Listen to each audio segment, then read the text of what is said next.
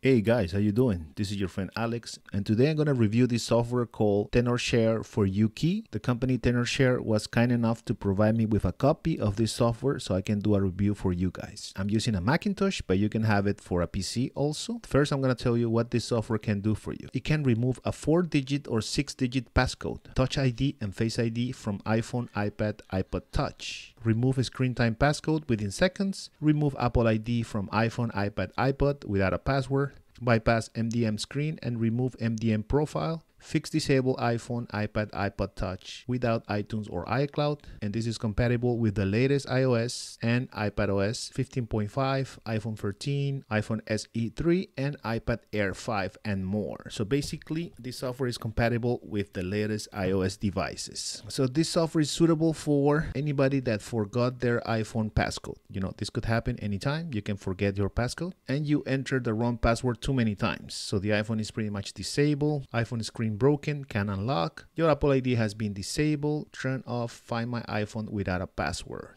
It says remove every type of screen passcode. So you can do a FaceTime or Touch ID or just the PIN code, right? Factory reset iPhone without a password. Bypass MDM login screen with 100% success. So this software is going to allow you to do a lot of stuff. What I'm interested in is to show you how to remove the four or six digit passcode. So I have an iPhone here and this is an iPhone 7 and I just wanted to show you that it's running the latest iOS and the latest iOS is 15.5. This is my account and I have Find My on, but I don't have any passcode. So you can access the phone regularly. So the first thing I'm gonna do is I'm gonna set up Touch ID. You go to settings, you go to Touch ID and passcode. So first I'm gonna add a passcode. So click on turn passcode on for this example, I'm going to select the easiest passcode ever, which is 123456. And Apple already know this, and it says this passcode can be easily guessed. So just use anyway. I'm gonna confirm it, one, two, three, four, five, six. And again, don't use this passcode because it's really easy to guess, okay? So I have this, it's done. So the passcode is on now, look at this. You see, it's asking me for a passcode, one, two, three, four, five, six. That's the passcode. Now I'm gonna set up also Touch ID. Anybody that has a newer iPhone, you can use this software with Face ID also. But in this case, I'm gonna use Touch ID. So I'm gonna enter the passcode. I'm gonna add a fingerprint. Touch ID. I'm gonna put my fingerprint right here, and it's complete. Okay. So now I have a fingerprint and I have a passcode. So if I do this, I can either enter the passcode or the Touch ID. Okay. Let's say you forgot your passcode and you have an iPhone like this. You know, if you try it too many times, it's to get locked though. Look at this iPhone unavailable. Try again in one minute. Okay, so I have my iPhone with a passcode, and then what I'm gonna do is I'm gonna open the software, and this is the software, guys, called TenorShare 4uKey, and I'm gonna connect the phone to the computer. Okay, look at this. I'm gonna click Start. It says unlock iOS screen. TenorShare 4uKey will remove the lock screen without a passcode, Touch ID, or Face ID. So I'm going to click next. It says not device detected. In order for the program to detect the device, please follow the steps below to put the device into recovery mode. So this is different from the iPhone 8 and about and the iPhone 7. So I'm going to select iPhone 7 and here it's telling me to press and hold the power and volume down button at the same time. So that's what I'm going to do. Power volume down okay? I'm gonna press it until i see a logo that is gonna tell me that the phone is in recovery mode. This is gonna take a while guys and the first thing you're gonna see the apple logo keep pressing until you see the recovery mode icon. Keep there you go okay? So now it's into recovery mode so now we can do it. It says could not contact the iphone software update server because you're not connected to the internet. Okay that's a problem of the internet and this is the Finder window. So we don't need this. We're going to go back to the software and it's asking us to download the matching firmware. This software is going to update your iPhone to the latest iOS. So just click download.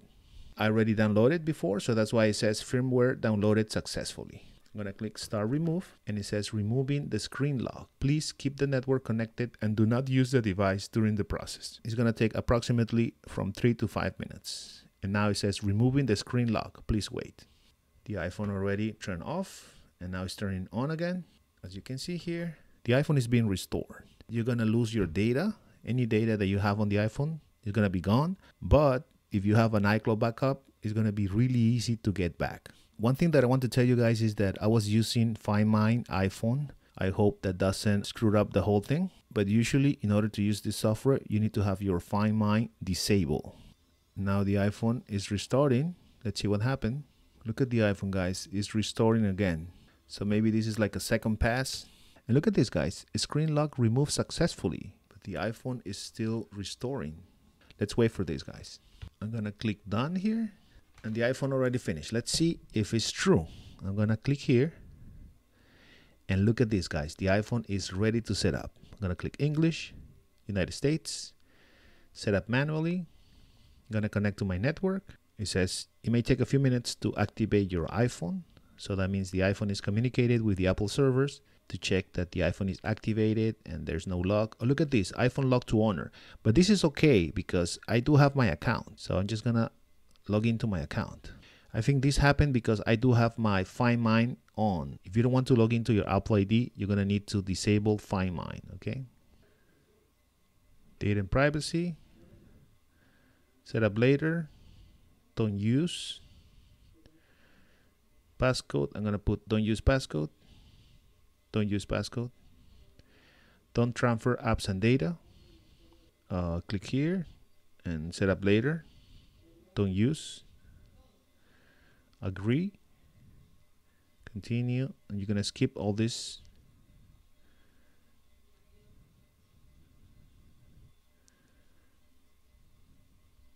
and that's it guys we were able to use our iphone without knowing the passcode or the touch id so we bypassed that so once you restore your iphone then you can put the content back using your backups if you have an icloud backup or a backup on your computer you can use it and you're going to get all your data back but we were able to successfully remove the passcode and the touch ID. And again, this software works with Face ID also. So if you have a newer iPhone, it should work too. And that concludes our tutorial, guys. I do recommend this software. I mean, it works. So if you have that problem that you forgot your passcode or your touch ID or you cannot access your phone and you have a passcode on your iPhone, I suggest you to use this software to remove it and you will have to start again. This is your friend Alex. Thank you for watching. I'll see you on my next video. Don't forget to subscribe, guys. Bye.